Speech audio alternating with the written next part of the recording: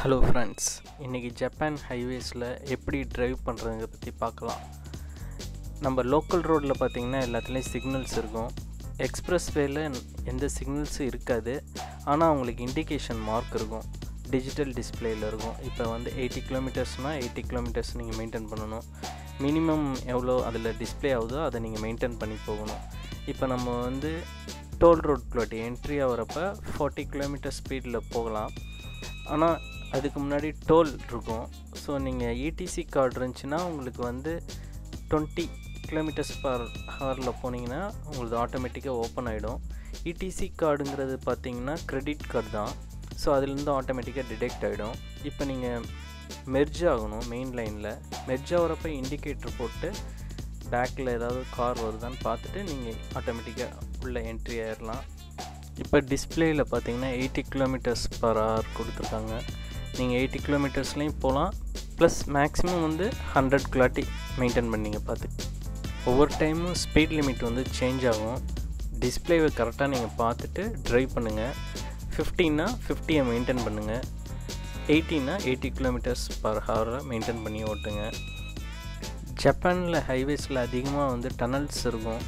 டனல்குள்ளே entry ஆகிறப்ப கட்டாயமாக headlight use பண்ணுங்கள் எக்ஸிட் வரப்பையும் அதே மாதிரி பார்த்தீங்கன்னா கண்ணு கூசும். அதுக்கும் கொஞ்சம் கேர்ஃபுல்லாக இருந்துக்குங்க. இப்போ இந்த டனலில் பார்த்தீங்கன்னா நீங்கள் வந்து சாலிட் லைன் எதுவும் இல்லை. ஸோ நீங்கள் லேன் வந்து சேஞ்ச் பண்ணலாம். சில டனலில் பார்த்தீங்கன்னா எல்லோ கலர் சாலிட் லைன் இருக்கும். அதில் வந்து நீங்கள் வந்து லேண்ட் சேஞ்ச் பண்ணவே முடியாது. அது முன்னாடியே நீங்கள் லேண்ட் சேஞ்ச் பண்ணால் தான் அதுக்கப்புறம் சேஞ்ச் ஆகாது.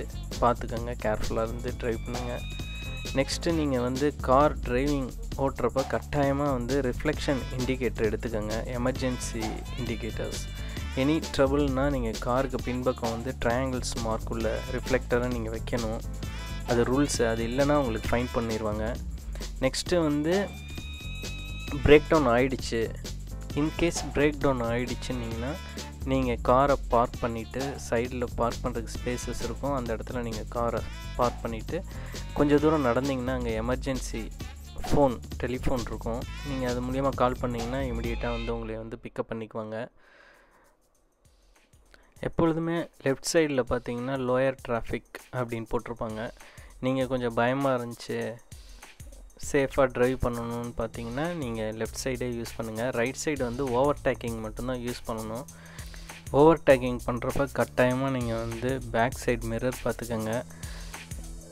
இண்டிகேட்டர் போட்டு லெஃப்ட்டு ரைட்டு நல்லா செக் பண்ணிவிட்டு நீங்கள் வந்து லேண்ட் சேஞ்ச் ஆகுங்க ஏன்னா அது வந்து ஹண்ட்ரட் கிலோமீட்டர்ஸ் பர் ஹவரில் வரதுனால வித்தின் செகண்டில் எந்த கார் வந்து உங்களை வந்து ரீச் ஆகிடும் ஸோ கேர்ஃபுல்லாக பார்த்துக்கோங்க.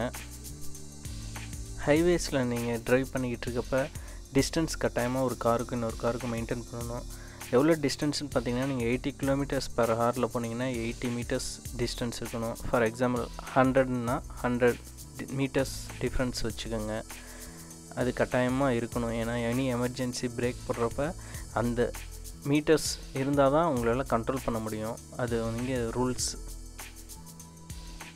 டிராஃபிக் ரொம்ப அதிகமாக இருந்துச்சுன்னா கார் எதுவும் மூவ் ஆக முடியல. அப்போ நீங்கள் பிரேக் போட்டு வெயிட் பண்ணுறப்ப கட்டாயமாக ஹசார்ட் லேம்ப் யூஸ் பண்ணுங்கள் ஏன்னா ரியர் அண்ட் கொலிக்ஷன் வராமல் இருக்கிறதுக்காக கட்டாயமாக அதை யூஸ் பண்ணுங்கள் ஹசார்ட் லேம்பை ஜப்பானில் பைக்கும் யூஸ் பண்ணலாம் ஹைவேஸில் சிசி பொறுத்து தான் நீங்கள் ஹைவேஸில் யூஸ் பண்ண முடியும். ஒன் டுவெண்ட்டி ஃபைவ் சிசிக்கு கீழே இருந்துச்சுன்னா கட்டாயமாக நீங்கள் ஹைவேஸ் ரோடை ஏற முடியாது. உங்களைய வந்து பிளாக் பண்ணிவிடுவாங்க ஸோ ஒன் டுவெண்ட்டி ஃபைவ் சிசிக்கு மேலே அதிகமாக இருக்கணும் பைக்ஸ்லாம் அதே மாதிரி டூ வீலர்ஸ் போகிறப்ப கட்டாயமாக எல்லா சேஃப்டியும் யூஸ் பண்ணிட்டு தான் நீங்கள் ட்ரைவ் பண்ணணும். ஹைவேஸில் போகிறப்போ கட்டாயமாக ஃபியூல் இருக்கான்னு செக் பண்ணிக்கோங்க. இன்கேஸ் ஃபியூல் இல்லாமல் பிரேக் டவுன் ஆச்சுன்னா உங்களுக்கு ஃபியூல் ரேட்டும் ப்ளஸ் டேக்ஸு ப்ளஸ் ஃபைனும் போடுவாங்க. பார்த்துக்கோங்க கேர்ஃபுல்லாக அதே மாதிரி கார் வீலில் ஏர் நல்லா செக் பண்ணிக்கோங்க. நீங்கள் எந்த கேஸ்லின் ஸ்டாண்டில் போயிட்டு நீங்கள் சொன்னீங்கன்னா போதும். ஹைவேஸில் நான் போக போகிறேன் அப்படின்னு சொன்னீங்கன்னா அவங்களே எல்லாத்தையும் செக் பண்ணிவிட்டு கொஞ்சம் ஏர் ஃபுல்லாக அடித்து தருவாங்க.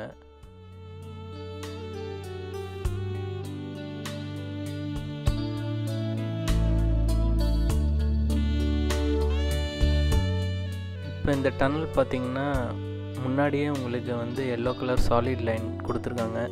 அதனால் நீங்கள் வந்து லேனை கட்டாயமாக சேஞ்ச் பண்ணிடாதீங்க. thank you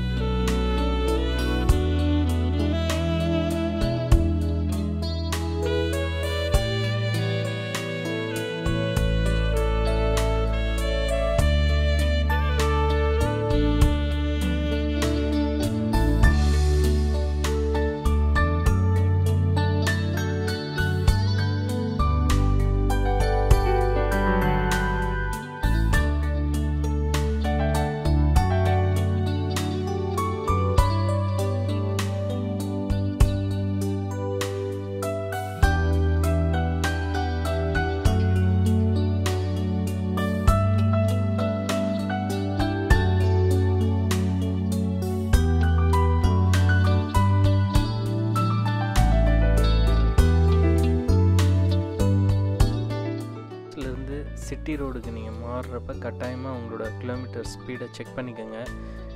ஏன்னா நீங்கள் ஃபாஸ்ட்டாக ட்ரைவ் பண்ணதுனால நீங்கள் அதே இதில் கொஞ்சம் ஸ்பீடாக ட்ரைவ் பண்ணுவீங்க. ஸோ அங்கே ஹிடன் கேமராஸ் இருக்கும். கேர்ஃபுல்லாக நீங்கள் உங்கள் ஸ்பீடாமீட்டரை செக் பண்ணிவிட்டு ட்ரைவ் பண்ணுங்கள் சேஃப்டி ட்ரைவிங்